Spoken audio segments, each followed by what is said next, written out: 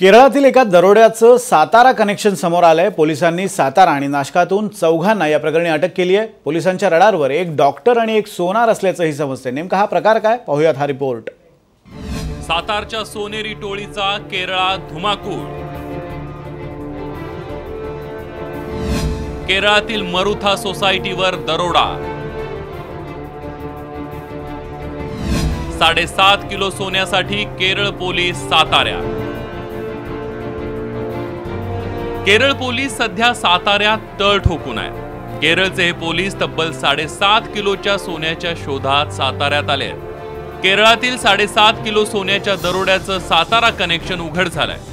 केरळ पोलिसांच्या परेश अशोक आंबुर्ले उर्फ निखिल जोशी त्याचबरोबर एक डॉक्टर आणि एक सोनारही पोलिसांच्या रडारवर आहे. हम तो केरळ में केरळ से आता है यहाँ। वहाँ एक कोऑपरेटिव सोसाइटी बैंक में एक टेक्स्ट थेफ्ट हुआ है।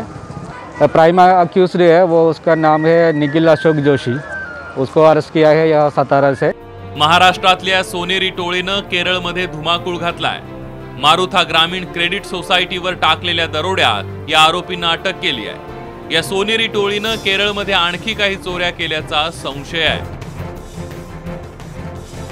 ओंकार कदम साम टीव्ही सातारा.